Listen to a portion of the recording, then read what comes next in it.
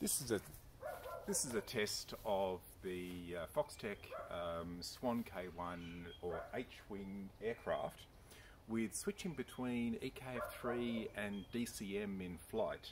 So this is part of a test for a pull request uh, where we want to be able to use DCM for flight control of VTOL vehicles in an emergency.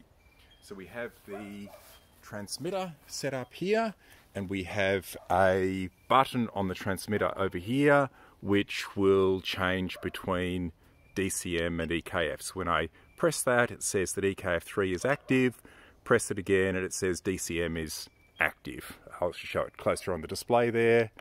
So that makes it, uh, that's EK3 active and now DCM active. All right, so I'm going to start with EK3 and put it into Q loiter mode. So it's now in Q loiter. So I'm going to arm the vehicle. Okay, then take off and hover it.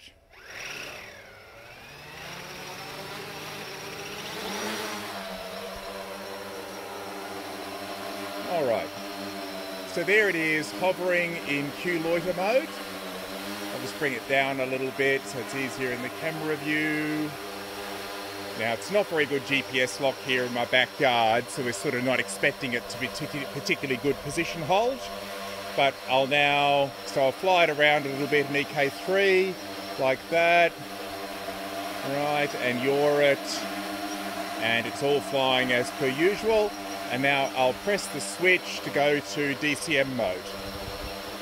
Okay, so there it is in DCM mode.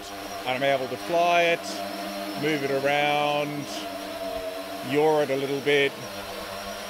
And it's sloppier. It isn't as good flying in DCM as it is with EK3, but it is quite flyable. And as an emergency, in case the EK3 goes bad, it's quite acceptable. So I'll actually land it in DCM mode now. So bring it down there and tell it to come down slowly. And then I'll disarm. All right, so there we have it, uh, able to fly both DCM and EKF, no problem, on the uh, H-wing, which is essentially flying as a quadcopter. I've just removed the extra wing extensions off the, the plane here for flying in my backyard because there's not exactly enough room to do a full transition.